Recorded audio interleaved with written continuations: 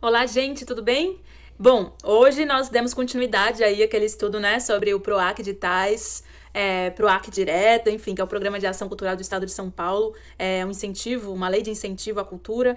E no, na primeira aula, falando sobre isso, eu comentei, a gente passou ali, passeou pela plataforma de inscrição, né, que é o PROAC Expresso, e hoje vamos passar pelos editais. Como eu cheguei até esses editais, em específico ao 39, onde muitos artistas se inscreveram, porque ele já passou o prazo, mas é uma forma da gente estar tá estudando e estar tá se preparando aí, tanto para o próximo PROAC, né, quando abrir, como também para outros editais. Espero que ajude, que seja de bom proveito. Um abraço e boa aula! Bom, gente, foi assim que eu coloquei, ó, proac.sp.gov.br barra editais, underline, resultados. Foi onde eu cheguei nessa página, tá? É, ainda é uma descoberta para mim tudo isso, é muito novo. Então, eu tô partilhando o que eu estou conhecendo, a forma que eu estou chegando em determinados editais. Aqui, por exemplo, a gente vai ver vários editais, é só clicar. Eu vou escolher esse 39 pra gente dar uma olhada, tá? É, fomento direto a profissionais do setor cultural e criativo, porque o 39, com certeza, assim, é um edital que ele lembrou muito a Lei Aldir Blanc, que é uma verba direta para o artista e não para o projeto, ou seja, ele não pediu nem orçamento, é uma verba de 5 mil reais por uma videoaula, que pode ser para artista, para técnico, para gestor, para produtor. Então, cliquei aqui no 39, vamos dar uma olhada, mas tem outros editais, assim, né? Então, conforme o que você achar que seja interessante para você, para o seu projeto, você vai. Eu aconselho olhar tudo, para a gente conhecendo mesmo, né? É, edital ProAC Express, tá vendo? 39, 2021, fomento direto a profissionais do setor da cultura, cultural e criativo. Este é um edital do ProAC Expresso direto destinado a realizar o fomento direto a profissionais do setor cultural e criativo. Quem pode participar, aí a gente pode estar tá lendo, né? Modalidades que eu falei para vocês, artistas, educadores ou técnicos da cultura, ou produtores e gestores, a inscrição foi até o dia 14, ou seja, já passou, mas a gente pode estar estudando para aprender mesmo, né, como funciona o edital, como funciona a escrita de um projeto, para o próximo ano aí tá podendo inscrever, ou até mesmo tá se inscrevendo em outros editais. Ó, como inscrever-se, aí é aquele... Lembra que eu falei para vocês, que eu mostrei no, na outra aula, é, é aquela plataforma de inscrição? Então, é aqui, pro AC Expresso, lembra? Então, é bem bacana, né, que a gente já viu isso. Dicas... Ah, tal, tal, tal. Acesse aqui o edital. Aqui vocês vão reparar que tem o edital, ele está dividido em três etapas para facilitar a leitura. E a gente não tem aquele desespero. Eu foquei, né, no parâmetros específicos, onde vai falar ali tudo que precisa para se realizar, todo tipo de documentação que vai pedir, então eu tenho uma noção do que que é, né? E os gerais tem mais partes, assim, de como que é depois, pelo menos o que eu identifiquei. Eu deixei em segundo plano, eu comecei mesmo pelo parâmetros específicos. E os anexos é bem interessante, porque são os modelos, né? Que a gente vai estar tá vendo também aqui, tá bom? É, dentro dos parâmetros específicos, a gente vai ver que está pedindo alguns anexos, de acordo com um projeto, de acordo com o proponente. E aí a gente pega o modelo aqui. E teve muita gente me perguntando, mas e, e aí? Tipo, tem um monte de modelo, eu tenho que imprimir tudo? O que que eu fiz, né? Eu peguei, salvei esses anexos, que é um, um PDF, e aí joguei lá no I Love PDF e separei ele selecionando apenas aqueles que me interessavam para esse primeiro momento da inscrição, porque tem outros anexos que é para depois, né? Que é depois que seu projeto passou, aí você precisa tá dando continuidade até a finalização dele. Então, vai estar tá pedindo, por exemplo, depois que você já realizou o projeto, já deu tudo certo, você vai ter que fazer prestação de serviço, né? Tipo, provar que você cumpriu conforme a sua escrita, o que você falou que ia fazer. Então, a gente também vai estar tá vendo um modelo, né, de como fazer essa prestação aqui. Mas apertando aqui no parâmetros específicos, é... Esse é o edital, uma parte dele, a primeira parte, foi assim que eu comecei é, a minha leitura. Vamos lá, se dá pra, deixa eu ver se dá pra baixar. Bom, a gente vai fazer um passadão aqui bem rápido, depois no final eu posso falar sobre as principais partes, né, que eu acho que quando a gente vai se inscrever em um edital, porque muitas vezes a gente fica perdido, porque é muita linguagem difícil, né, tipo, complexa para quem nunca viu um edital, e você fica ali perdido no meio dessa linguagem. Então eu vou falar como eu fiz, tá? Mas depois a gente faz esse passadão mesmo sobre o pelo edital inteiro. Então, aqui, o objetivo desse concurso, aí vai falar que é uma videoaula com duração de até 30 minutos. Muitas pessoas ficaram em dúvida se era mais de um vídeo ou era um vídeo só. E devido aos cursos que eu fiz, eu tirei essa dúvida e realmente é um vídeo até 30 minutos. Ministrados por profissionais do setor da, da área criativa, né? De, e poderia ser artistas, tá vendo? Arte educadores, técnicos da cultura, produtores e gestores culturais.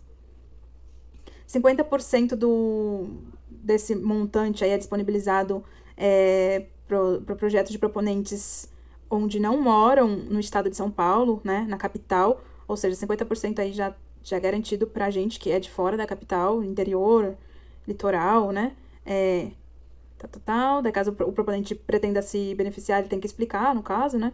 O prazo de realização. Isso é bem importante, que eu descobri nos cursos também, porque, tipo, tá falando que o prazo de realização é 12 meses. Então... então, se é 12 meses, é eu saber que eu tenho esse prazo, né? E eu vi, por exemplo, outros editais que são 24 meses. Então, por exemplo, se tem um edital de 24 meses, não tem nexo eu fazer um projeto com 12 meses. Muitas vezes vai ter um outro projeto, um outro edital, aliás, um outro edital com menos tempo, que seja talvez mais de acordo com, com a minha proposta. Então, é interessante a gente se atentar a isso, sabe? Pra gente não ficar muito fora do que o edital tá pedindo. É... Aqui o valor disponibilizado é de 5 mil reais, conforme eu falei. Esse recurso ele é direto para o artista, ou seja, é um edital que ele não pede orçamento. Eu vou mostrar para vocês. Ó, aqui a gente vai entender o que, que é modalidade, o que, que eles consideram como artista, arte educadores, técnicos da cultura, tal, tal, tal. É legal a gente registrar o visual. Então é legal a gente ter conhecimento do que significa isso, né?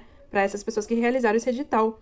É, da participação, o que você precisa, o que não pode, sobre a inscrição, até quando que vai, tal, tal, tal, documentos necessários para inscrição.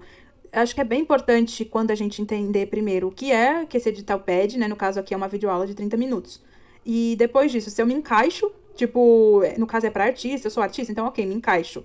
Eu sou moradora do estado de São Paulo, conforme falou lá em cima também, sou, né? Pelo menos dois anos eu moro em São Paulo? Sim, então tô me encaixando. E aí agora eu preciso ver as documentações para de repente, tem pessoas que pedem um, um, um, tempo muito grande realizando o projeto e depois descobre que não vai ter o documento que precisa. Isso é muito frustrante. Então é legal a gente observar tudo que pede, sabe? Tudo que é necessário. Aqui, currículo do proponente, na área objeto da aula, né? No caso, você vai dar aula de palhaçaria, então o seu currículo tem que ser né, de acordo com o que você está se, se propondo a fazer é, com no mínimo um ano de atividade na modalidade escolhida, ou precisa ter um ano pelo menos de experiência aí. É, descrição do conteúdo da videoaula ser gravada, link contendo uma exposição demonstrativa da videoaula de no máximo 5 minutos, e aqui ó, não é obrigatório. Então, mas sempre que possível, gente, vamos colocar assim tudo que a gente tiver é, como complementar o que a gente quer fazer, porque pensa que essa pessoa que vai ver seu, seu, é, a sua proposta, ela não te conhece, ela não sabe da sua trajetória, ela não sabe se você tem capacidade de realizar isso, ela precisa sentir segurança em você. Então, quanto mais você conseguir é, fornecer o que está pedindo, faça, sabe? É, indicação do público-alvo, classificação indicativa, expectativa de público alcançado com a videoaula, cronograma de execução. Muitas pessoas falaram assim, vou falar sobre isso aqui. Cronograma de execução, mas como assim? É só uma videoaula, Bruna? Como assim? Ué, gente, é uma videoaula, mas uma videoaula não aparece do nada, não é um passe de mágica. Por mais simples que seja, você precisa de um tempo para isso. Quanto tempo você precisa? Quais são as etapas que você vai precisar para realizar essa videoaula? Ah, eu vou precisar fazer uma pesquisa de conteúdo, eu vou precisar é, gravar, eu vou precisar editar, eu vou precisar. Então, assim, é, existe um tempo para isso. Quanto tempo? Eu vou precisar divulgar. Esse edital específico, ele, ele fala aqui que é a gente que dá finalidade para essa videoaula. Ou seja, não adianta só você pensar na videoaula em si, mas você precisa pensar também em como você vai atingir esse público, ó, a expectativa de público com a videoaula. Então, por exemplo, eu pensei em fazer parceria com a Fundação Cultural da minha cidade, da minha região, para estar tá divulgando o meu vídeo para os artistas educadores, que no caso é o meu público principal. E isso é uma forma de você amarrar, né? A finalidade desse, dessa videoaula. Eu já tenho uma finalidade para ela. Cronograma de execução. Depois eu mostro também como que eu fiz o meu cronograma. Ficha técnica com relação dos participantes, caso haja, incluindo a identificação do CPF e a descrição da função do projeto. Ok. Breve currículo dos principais integrantes do projeto, caso haja, né? Porque esse daqui é um edital que muita gente fez sozinho também, até pelo valor que ele é proposto, né? Detalhamento da proposta da contrapartida. É... Então, assim, o projeto em si, ele vai ser. Ele já é uma contrapartida, né? Você já vai estar tá disponibilizando gratuitamente esse, essa videoaula, mas é legal incrementar, assim. Por exemplo, eu coloquei na minha vídeo como contrapartida também essa questão de, de fazer um. Por exemplo, um workshop. No meu caso, eu coloquei uma intervenção literária de estar tá recebendo histórias, mas pode ser um workshop, pode ser um, um outro vídeo bônus, sabe? De você estar tá pensando. Eh, quanto mais você linkar ainda a questão do. De, de por exemplo, é, uma instituição pública, uma escola, né? É, ou os idosos da Secretaria do, do, cadastrado na Secretaria do Idoso. Quanto mais você conseguir fazer esses links com instituições públicas, já acho que assim fica mais amarrado a situação. E você pode comprovar depois com a carta de anuência que nesse caso ela não vai ser obrigatória, mas pode ser interessante, porque a carta de anuência, ela diz que aquela instituição está disposta a receber o seu projeto e apoiar o seu projeto com o que você precisa. É, anexos, ah, lembra que eu falei sobre os anexos? Ó, anexo, no caso aqui pediu um ou dois em relação aos direitos autorais, é, o três ou o quatro, né? É, não obrigatório informações adicionais que o proponente julgar fundamentais. Aqui vai ter lá naquela. Lembra aquela que eu, que eu mostrei na outra aula? Como se inscrever e tal, a plataforma? Então, lá na plataforma vai ter um lugar que você pode adicionar é, informações que você acha fundamental. E ali, por exemplo, eu coloquei as cartas de anuências. E também coloquei o, o projeto inteiro, no caso. Isso, porque lá na plataforma ela pede por partes, né, para você ir colocando por partes, anexando por partes. Então, nessa parte aqui em específico, que é a última parte lá na hora da inscrição, eu coloquei tudo. E vamos lá, documentação, no caso aqui é o anexo 5, é, e é uma cópia simples do RG e CPF com foto. Também anexar, né, separadamente lá. Então, através desse, de, do edital, a gente vai tendo uma noção do que que pede, né? A gente pode se preparar para a inscrição critérios e notas para avaliação. Isso é legal a gente ver os critérios. Eu também mandei para as pessoas que me pediram opinião e tal, ajuda para inscrição, porque através dos critérios a gente consegue ali direcionar o nosso projeto, né?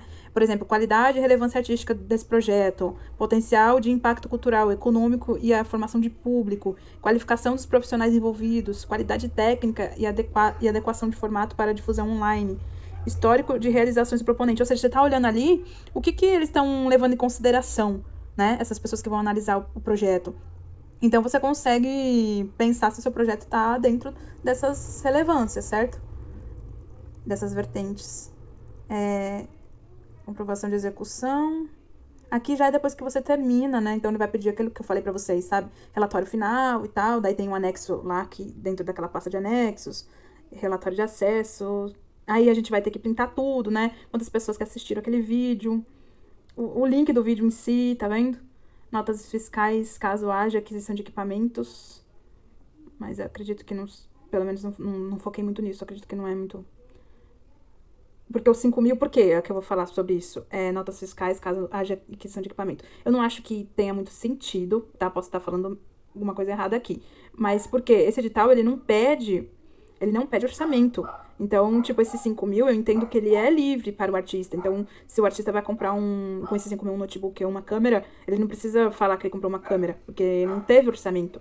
Então, eu acredito que não faça muito sentido, mas pode ser que eu esteja errada, tá? Porque eu estou aprendendo e ainda é tudo muito novo para mim. O link, cópia do e-mail recebido, constando a aprovação do material de divulgação. Ah, porque toda vez que a gente for é, divulgar, né, esse trabalho, esse, é, a arte de, desse projeto, a gente tem que pedir autorização. a forma de entrega da documentação acima, bem como os prazos, estão devidamente descritos no item 7 da parte 2. Lembra de parâmetros gerais que eu, que eu falei para vocês que eu achei que era mais sobre o depois? Então, Aí eu foquei mais no, nesse, nesse edital, nessa primeira parte dos parâmetros específicos, para eu entender como funciona a inscrição. Depois que eu realizei a inscrição, aí eu me preocupo com o restante né? Então, aqui informações gerais. É... Uhum. Ah, sobre a contrapartida que eu falei, né? Disponibilização gratuita da videoaula em formato da sua escolha com ampla divulgação. Ok, daí eu, eu acrescentei a minha contrapartida, porque meu objetivo é, é passar, mas não sei também se somente disponibilizar gratuitamente já conta como uma contrapartida e não precisa de mais nada. É, também é uma questão. Aqui eu fui descendo, daí tem os e-mails para caso tenha dúvidas, É, aqui como esse edital foi dividido.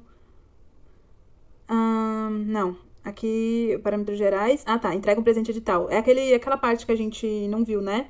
Que é o parâmetros gerais e depois os anexos. Né? Aqui tá falando quais tipos de anexos que tem tá vendo? Que no caso, acredito que foram três que tem, que no caso desse edital foi necessário. É, daí tem o cronograma deles para realização de tudo, né? Seis meses. E, e é isso.